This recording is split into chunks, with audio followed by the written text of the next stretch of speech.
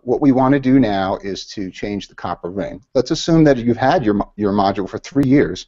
You've been changing your ring sets, you've been taking care of things, but now you find that this copper ring uh, is deteriorating. Now this is a brand new module, but let's you know use your imagination.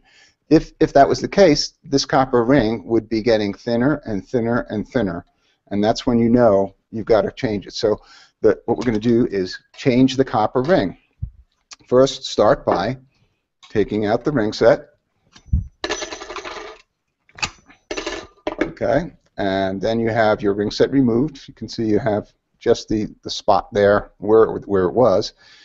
At this point, you have to remove one of the uh, white legs in order to get at that copper ring in the middle. You can't just slide it out because it's locked in by, by these white legs. Okay?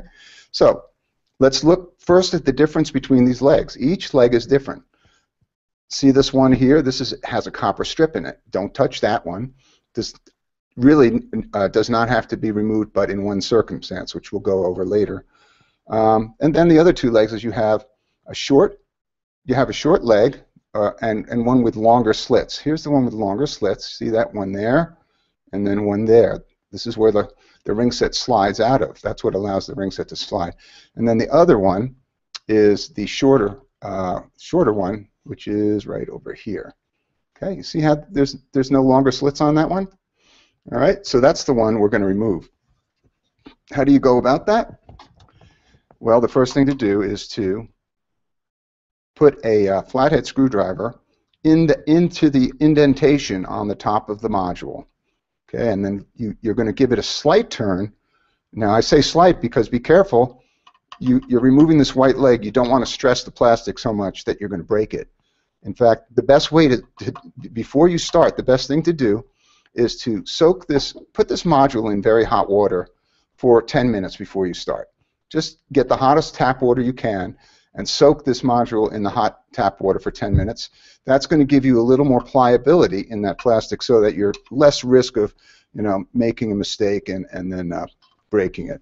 So see what I've done here? Look closely, and you can see that that has been lifted up enough so that you can see a white tab on the top of the module. Okay. Once you've got that side uh, up, flip it around to the bottom of the same leg, and we're going to do the same thing on the bottom. Lift slightly. And then once that's lifted, you'll see that both sides have been lifted out. And I'm going to just move from the center, pull out, and then see how it comes out, comes out there? Slides out. At this point, it's really easy just to take out the copper ring and replace it. So this, we're going to put this back. And then putting the, the leg on is just the reverse. You're going to kind of line it up with both sides. Make sure you put the um, put the dolphin facing up the same way as the others, because you could put it upside down if you're not looking. And then line up the rings. First the copper ring. Let's make sure we get this lined up here. Okay, good.